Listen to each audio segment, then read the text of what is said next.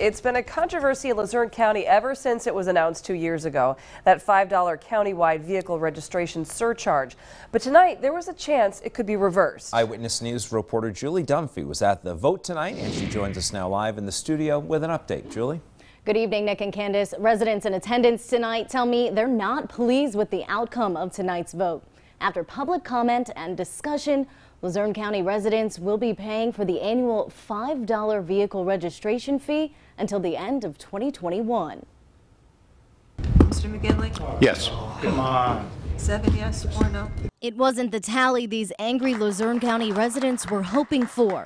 Tuesday night, Luzerne County Council voted 7 to 4 to amend the $5 annual registration fee ordinance, extending it until the end of 2021.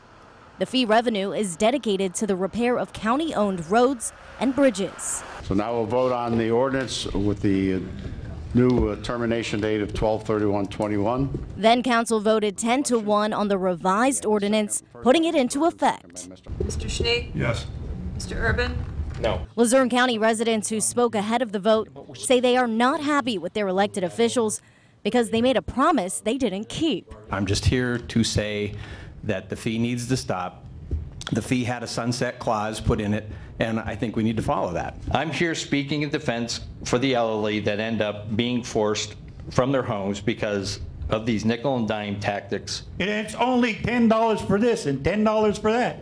How many ten dollars and five dollars are they gonna be able to take out of our pockets to pay for all this? It's very disappointing that we continue to be taxed hardworking people that sit here. The majority of council voted in favor of the fee along with the extension. Their reasoning was to make sure the $2 million match from the state was met. I have five dollars and somebody's given me five dollars, and I could move this county forward a little bit. I, I don't, I don't see how you can't go after that money. But one lawmaker agreed with residents. The $5 fee is unfair. We can't keep on taking five dollars from the people every year to fix the 300 or so, um, the 200 so, 300, 300 bridges, I think. 302. 300 and 120 some miles of roads. Uh, We'll never get it done. It's, n- it's just not going to happen. Also at the meeting tonight, County Manager Dave Pedri gave his State of the County report, naming the highlights of 2019 and addressing the 2020 priorities for the county. You can find all the details on that report at pahomepage.com. Live in the studio, Julie Dunphy, Eyewitness News.